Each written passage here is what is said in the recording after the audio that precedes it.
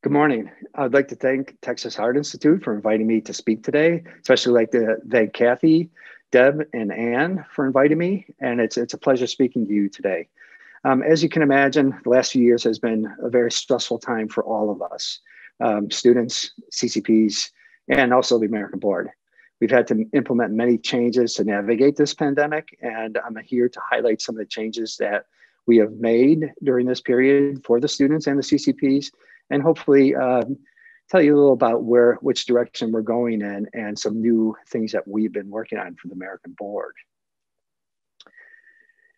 One thing I'd like to point out, uh, your title to your to your meeting today is honoring the women and leading with the heart. Uh, you'll recognize a few people in this photo on the left. Deb Adams um, is honestly all heart. That's a good way to describe her. Uh, she puts her all into everything she doesn't judge anybody. She just that's the way she is, and she's a great person to uh, have as a mentor down there and as a friend to, to everybody. I, you are so lucky to have Deb in your program. It's it's I cannot speak enough about her. Um, and on the right, you have Ann Guerco. Everybody recognizes her too, and she's currently the vice president of the American Board. And she is a strong, thoughtful, and heartfelt leader uh, that will uh, this also a very good person that you have down there. And we sincerely appreciate her work and endeavors on the american board also. And oh, in the middle here we have beth richmond. She's our executive director on the american board. And uh, she is also the she's basically the heart and soul of the american board. And she's been with the board since its inception. And I cannot speak enough about her leadership and her dedication to uh, the perfusionists in the country and the certification process in this country. Um, she's unbelievably to work, unbelievable to work with, and uh, a great role model for us all. I had the honor of visiting Texas Heart a few years ago and doing a site visit for CAAHEP. And I was amazed by the facilities you have down there, the staff you have down there, and the educational resources you have at Texas Heart.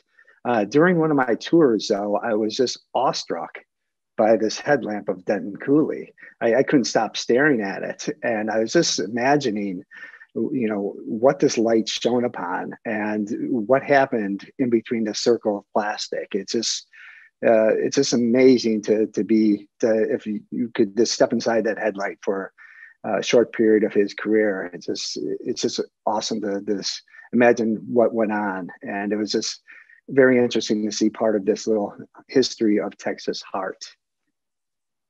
So my objectives today are to review the American Board Examination challenges and actions during COVID pandemic, to explore the outlook of perfusion educational programs during the pandemic, and to look into the, the impact of the pandemic on the CCPs and review our certification stats. I will also uh, discuss advancements and enhancements of the American Board during this adverse time. So what are some of our coronavirus actions and responses? Well, I must say that 2020 was just the perfect storm and gave us many headaches. Uh, the American Board examinations were initially scheduled for March 25th and through March 28th of 2020. 62 examinees were registered to take the spring examination. And um, as you all know, our exams are administered by Prometric testing centers. So uh, um, examinees sign up with Prometric testing centers to sit for our exam, and they can schedule us on their own. Uh, however, on March 16th, I started noting, or beginning of March, I started noticing on the Prometric websites that a lot of centers are starting to close because of the pandemic. Uh, we were in constant contact with Prometric, and they were saying, no, the majority are open. A few have closed, not to worry about it, and we can adjust the schedule for anybody that is at a closed center.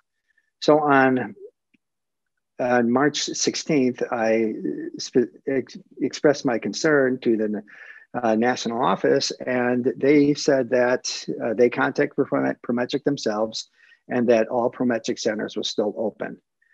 Suddenly, less than 24 hours later, on March 17th, they informed us that all Prometric testing centers were closed. Um, I almost fell off my seat at that time. I was like, we just talked to you yesterday, and now you're closed today. So uh, we had to scramble, and all the examinees were immediately notified and that there could there'll be no fees to them, no changes to them. We'll try to get their tests in as soon as possible, and also they'll have the option of postponing their test to the fall examination if they prefer. Uh, perform, uh, Prometric informed the American board that on April 19th that the spring examinations will take place on June 17th through the 20th of 2020. So, you know, they kept on working on dates where they felt like uh, the majority of the centers will be open and they can have the exam at the, safely at this time. Again, all examinees were contacted and rescheduled for the June exam or given the option to sit through the exam in the October exam window.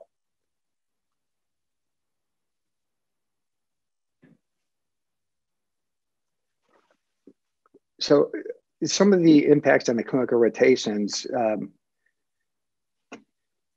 uh, so in spring 2020, uh, we were notified that a lot of clinical rotations were closing. Uh, so we, we're talking about the impact on students and sitting for the exam. We had to temporarily waive the 75 clinical case requirement for graduating students. We basically accepted the number of clinical rotation cases as is, and as is completed by March 16th in any accredited perfusion program. So, uh, you know, what we found out is that majority of cases that the students already had their 75 cases. There are a few exceptions where they had like 72, 73. You know, this is pretty close, and we were willing to accept this during the time of crisis. We reviewed any examinees' applications and requirements and solved their problems based on a case by case basis. You know, for example, if somebody was missing a case or two, we looked at it and decided, yes, you can sit through the examination. We also stayed ahead of the pandemic too. We received regular updates, uh, biweekly basically, from Prometric regarding the status of testing centers for the fall exam. I really wanted to make sure that this doesn't happen again, where the perfect storm happens and you know, all of a sudden a day before the exam, exam it closes. So we really try to avoid this and stay in really good contact with uh, Prometric during this period.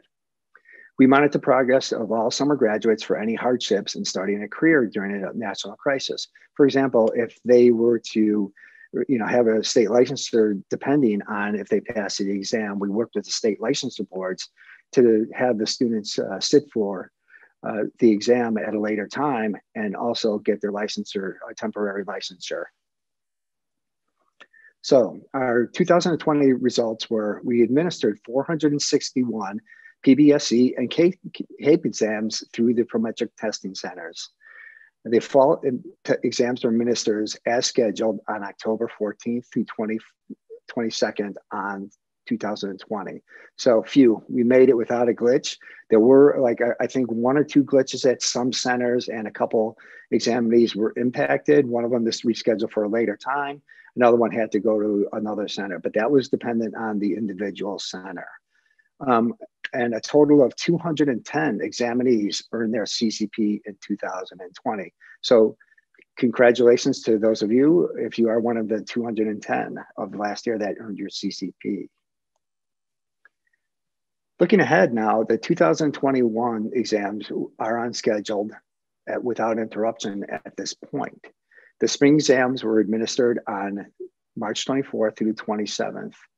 39 examinees took the PBSE exam, 33 passed the exam. 62 examinees took the CAPE exam, and 52 have pay, uh, passed the CAPE exam. The fall exam dates are scheduled right now for October 13th through 16th at Prometric testing centers. The American Board is staying ahead and connected with the perfusion educational programs. In February, the American Board reached out to all the perfusion program directors via the PPDC to stay ahead of the COVID uh, pandemic. And we just want to be aware of any educational or clinical requirement shortfalls throughout the programs uh, only two uh, programs, two programs out of 17 responded that th- they will fall short uh, on some of their clinical requirements. And this is because some of their clinical rotation sites have closed or held back some of their students and they will not be able to get their clinical cases and their pediatric cases in time. However, uh, an update is that both programs expressed that they should meet the requirements. And I just talked to the director of the PPDC programs, and he said that there really shouldn't be any problems with this year's graduation since we are in late May already. So uh, there was talk about one program may move graduation back a month to June, but we have not heard anything else from this program. So it looks like they're scheduled on time to have graduation happen on time. So it seems like uh, many programs were able to get uh, normal clinical rotations or they scrambled to find other ones. You know, for example, myself, I was contacted by Midwestern and said, "Can you please take a pediatric rotation student?" And this was kind of at the last minute, and absolutely glad to help. So we took that student in and got him in, got his cases, and he's graduating in like next few days, I think. So what adjustments did we make as the American Board during COVID 19? Well, on March 17th of last year, we sent a mass email to all CCPs that any recertification hardships faced by the current CCPs regarding clinical case or professional activity requirements due to the COVID 19 crisis will be handled on a case by case basis as needed. And the American Board will grant the filing extension at no fee to the end of the 2020 calendar year. So, uh, you know, one thing about uh, clinical cases, we've seen uh, during the pandemic that a lot of hospitals slowed down. Uh, they were only doing emergent cases or they were told to absolutely close for a while. So it was hard getting cases for a while uh, for many perfusionists, and we understand this. Um, also, professional activity. I mean, COVID 19 turned meetings like this upside down. Uh, I'm really kind of tired of presenting into a computer.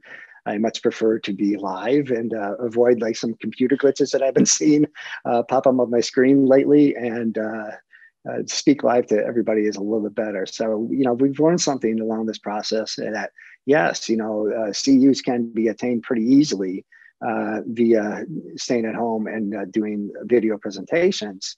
Uh, but you know, we also miss the live clinical activities. But you know, tell you the truth, there are enough professional activities out there right now to get your CEUs. Um, it's just a lot of online learning, uh, and hopefully, uh, we'll be back to seeing each other in person pretty soon.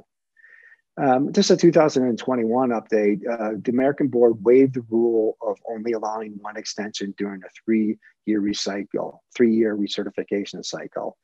Um, we used to have this this rule that every three years with your recertification cycle, you can only have one extension. Well, we waive that now. We understand that this pandemic has lasted a lot longer than we all thought, and it's probably going to affect more of us uh, in this past year, uh, the beginning of 2021, uh, than anything. So we waive that rule. We also will continue to grant recertification extensions uh, when requested by the CCP. And don't forget the CCP has to formally request this with the American board. It cannot just say, eh, I'll take care of it. Uh, you have to notify the American board about needing an extension and you will be granted that extension because of the pandemic. So let's look at some certification numbers and stats for this year.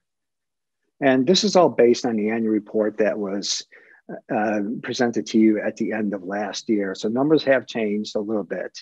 Uh, so far, as I mentioned before, we have 210 new, recertific- new certifications. We had 110 people that were on extended leave at the end of last year. Uh, we'll talk a little bit more about this in a little bit. Um, we had we had 131 file for extension. We have a total of 4,522 4, perfusionists uh, to this date, and we lost only 94 perfusionists last year. So let's look a little bit more into these stats. 216 CCPs initially signed up for a recertification extension on August 1st, 2020. 131 CCPs were on extension at the end of the year. And typical year, we, we have an average number of around 94 CCPs uh, that file for an extension. So we had a slight uptick on this to be expected. In fact, I was kind of surprised it wasn't higher. Of these 131 uh, CCPs, 67 CCPs were still unable to meet the requirements, uh, the deadline at the um, end of the year to file their cases, their 40 cases. Uh, these people were moved to conditional certification. So to this day, we have 174 CCPs that are on conditional certification. And in a typical year, uh, conditional certifications are about 99 CCPs a year. So it's a it's a pretty uh, dramatic uptick in this, and we'll have to keep on watching them and making sure people don't slip through the cracks. Um, however, some conditional certifications are destined to leave the field via retirement or other reasons. Um, and so, and others uh, might have life events and need to consider extended leave. Uh, for example, military duty, uh, having a baby, um, uh, family issues. So these people can, these CCPs can be on extended leave for this uh, moments of crisis or family changes. And please don't forget, extensions, conditional, and extended leave status is not punitive. The, the CCP is still American board certified during these periods. If you're on extension, you're still certified. If you're on extended leave, you're still certified. If you're on conditional, you're still certified. We stand behind you during these times the American board does expect further hardships. Uh, in fact, I think they'll probably last another year or two uh, before we get a climb out of this and get back to normal. So the American board will uh, keep on studying everything and make adjustments as necessary. And don't forget, every COVID related extension will be handled on a personal and case by case basis. Um, the American board, we're very proud of our national office and the outreach that they do. And if you pick up the phone and call them, you'll get a live, happy person on the phone and willing to help you. And they're very informative, they're very knowledgeable.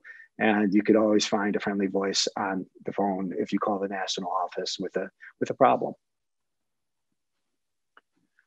In 2021, we did have 94 CCPs lose certification.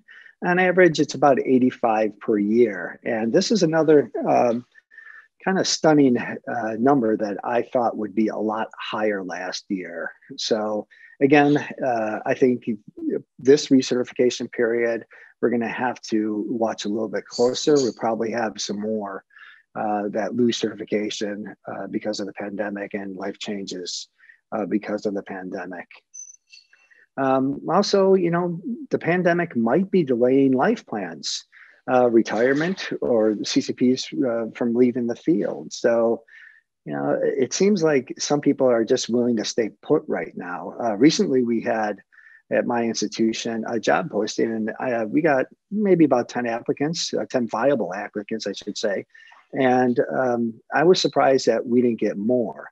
In a normal time, when we did a search before for perfusionists, we got a lot more applicants. So I, I think many people are just willing to stay put and uh, kind of ride out the pandemic or don't want to move their family around during a time of crisis. Uh, also, uh, we did hear some stories of, of perfusionists, uh, older perfusionists, that were being guided to retirement uh, because of uh, COVID-related decline in cases. So this is unfortunate happenings because of the pandemic that some programs and some uh, perfusion companies decided to, to kind of cull the herd a little bit and get rid of some of their older CCPs uh, because their case numbers were, were down. Uh, so we really feel for these uh, perfusionists that were impacted by this.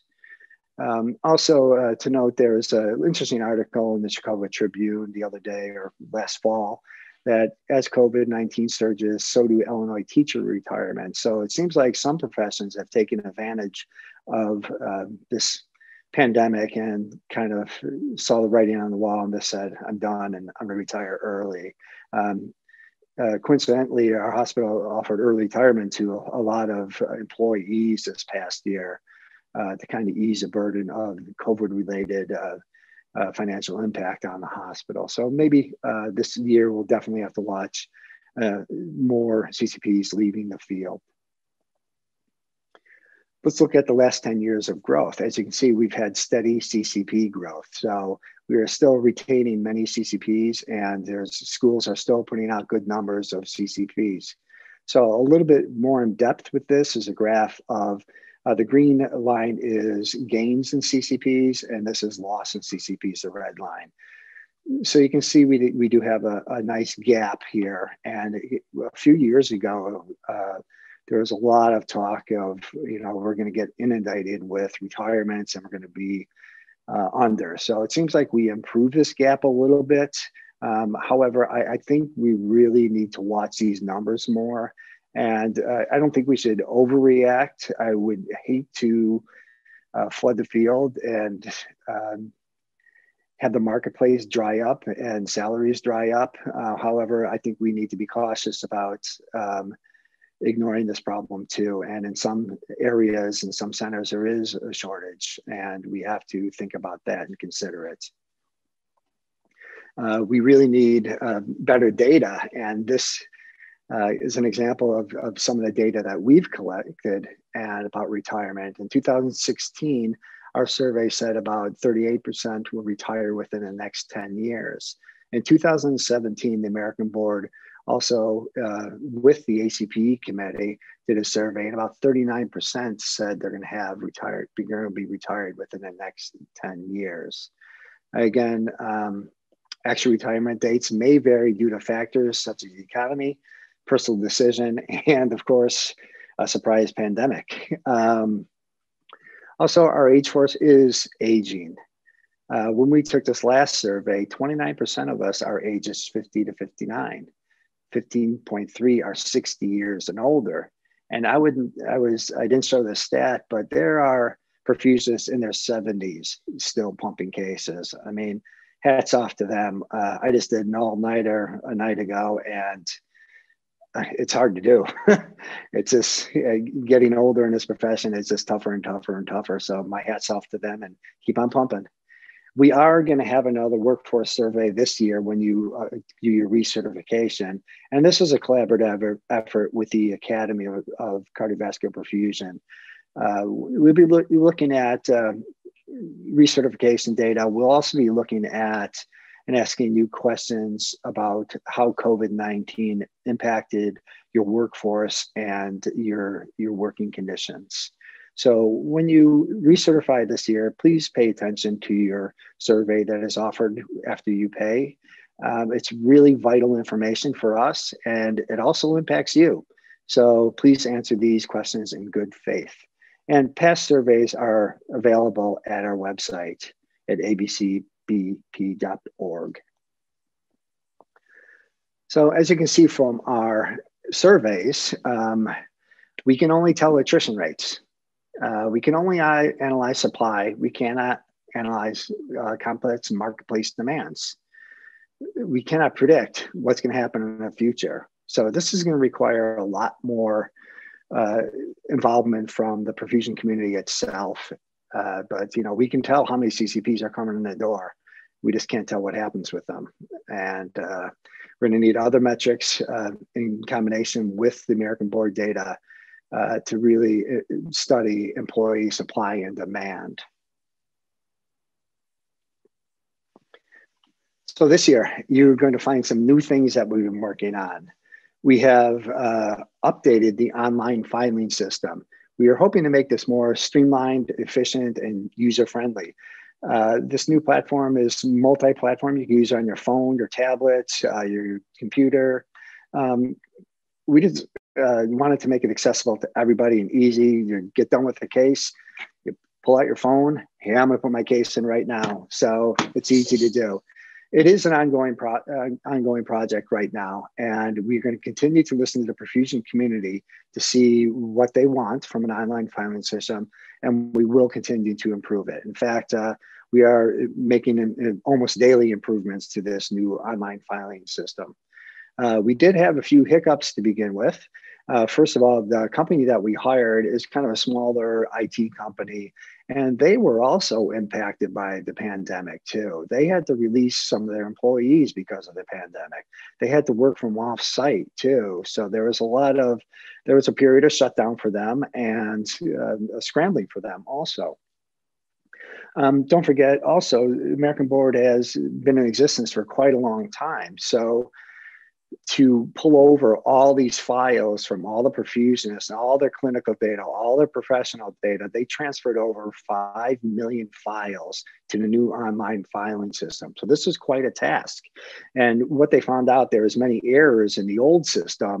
Um, there's many like abbreviations. If you put ST instead of street, it didn't come over. There's lots of problems uh, with transfer of data over. So this took quite a time and uh, there was uh, significant hiccups with this. Um, however, this spring we kind of did a soft launch of the online uh, filing system, the new online filing system. And we'll be having more online tutorials and people will be speaking about it at meetings just like I am right now to you. So uh, we're going to look into this a little bit more quickly. Just a, you know, just a sky view of, of this new application that we came up with. Uh, first of all, you have to update your IDs and your, your profile when you get in the new system. You need to reset your password and please do not use your social security number. Our, our site is secure. However, you know that all the uh, hacking that's going on. So please do not. We've had many people use their secure, social security number in the past, and we always encourage them not to do this. Not a good idea. Um, you will update your personal profile on this page, and you will also have to annually electronically sign uh, information authorization release. Uh, in case you get audited, and they will contact your supervisor at the hospital and to verify that yes, you did do these cases and uh, American Board Ethical Standard Agreement. Uh, just one note too, uh, this happened about a month ago. We realized that uh, this new system does is not compatible with Internet Explorer. So if you're using Internet Explorer, like many hospitals use Internet Explorer, uh, please do not. Internet Explorer has a lot of issues and uh, should be steering away from it anyway. So this is a dashboard. This is basically your homepage. After you sign in and everything, you will go to your homepage. And one good thing about it is it's your main navigation page. You can actually see how many cases you filed already, your professional activity, uh, your account, your filing history.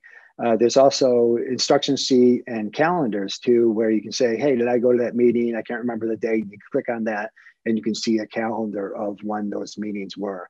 It will tell you your cycle number here too. And uh, there's some more information up here, but I blurred it out because that's my personal information. Um, so also another good thing is there's a help button here too. So you can click on that help button. It will email the American board directly and you can state what your issue is and we will get back to you on that. Um, as far as payment too, we've increased our, our payment. I will show you payment screen pretty soon, but uh, it will store a credit card if you want to. And we also accept PayPal now, which is a, a kind of a big complaint from us before that we didn't do this before.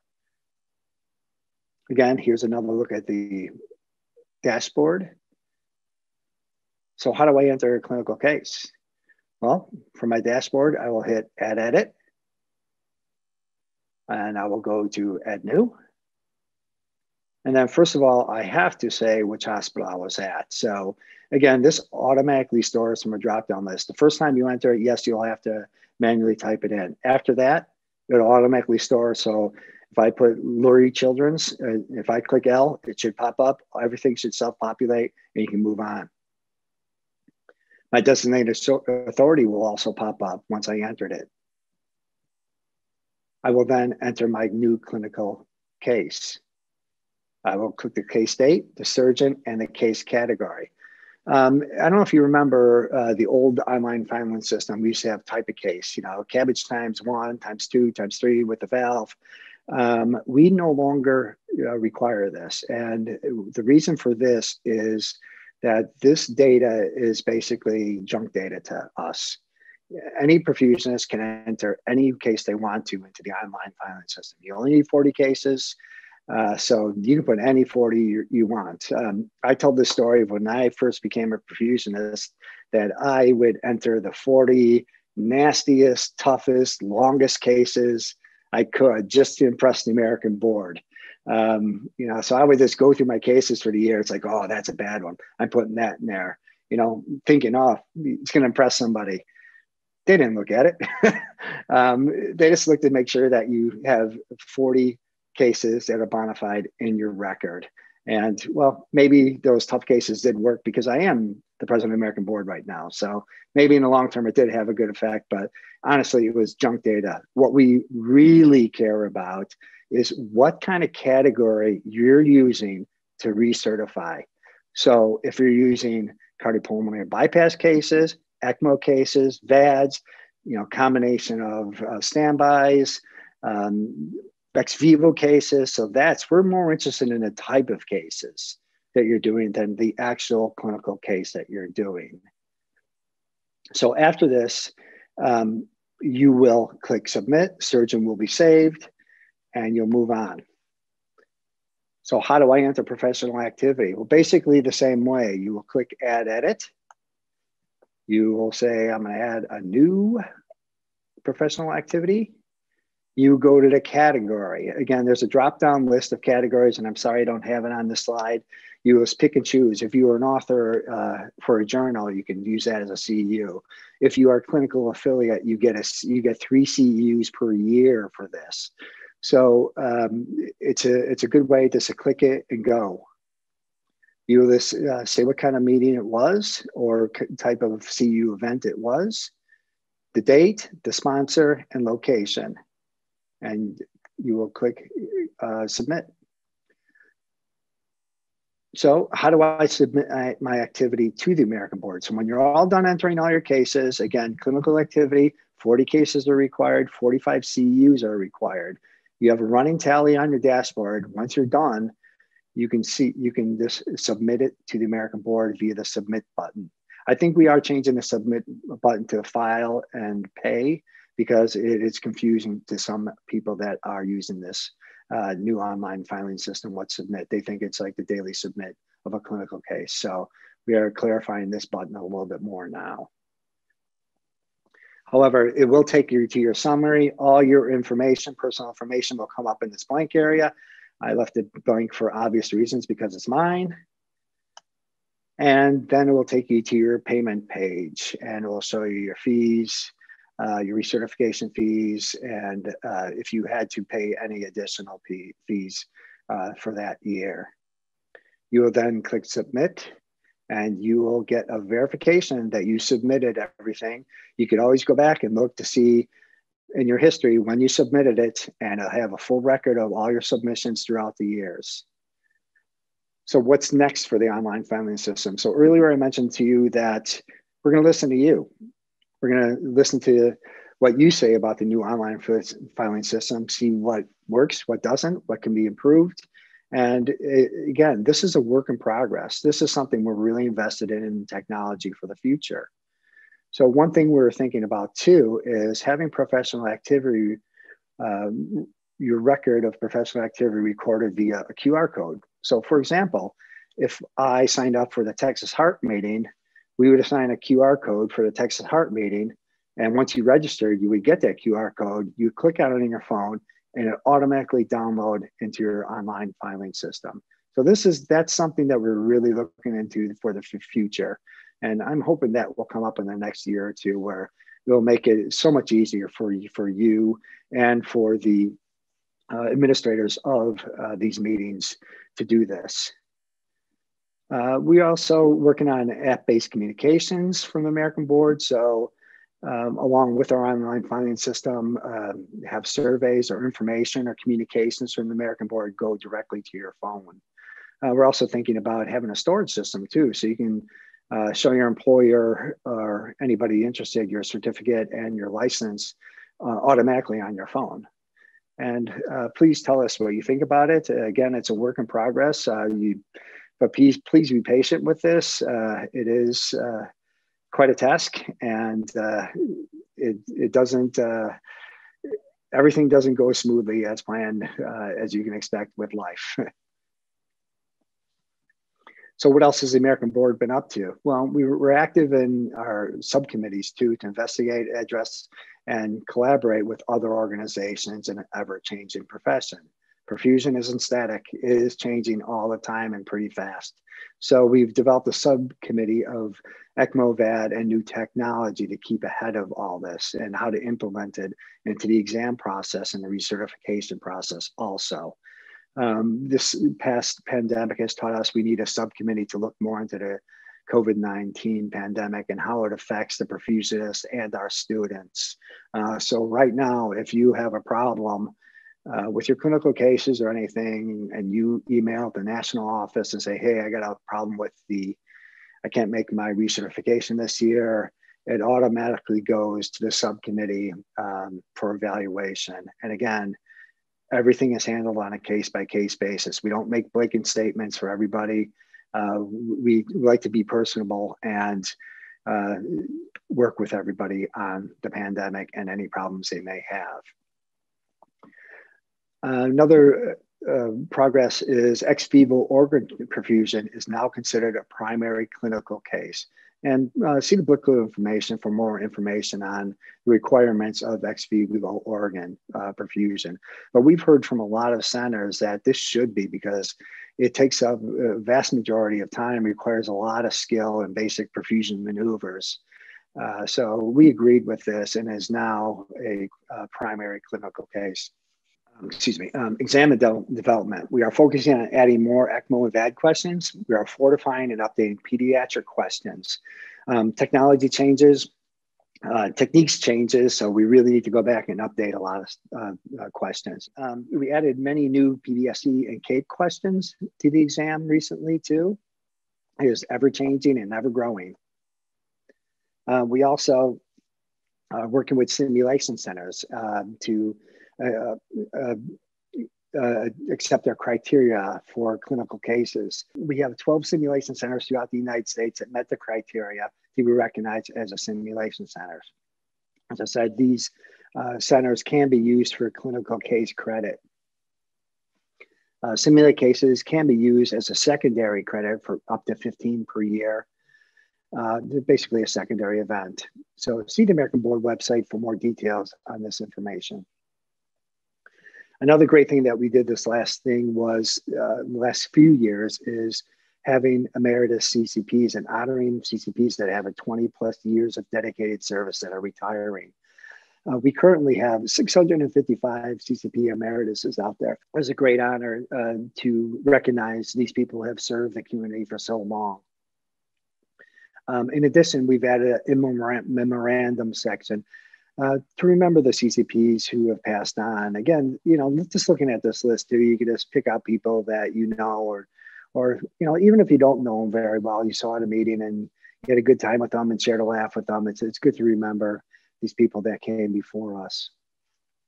And we should have some more news coming out this summer or later this fall about more advancements in the American board uh, processes Again, I would like to remind you that the American Board will constantly monitor the COVID 19 crisis and effects on our profession, our educational system, and the individual CCP. The American Board will adapt to make any necessary certification changes during this difficult time.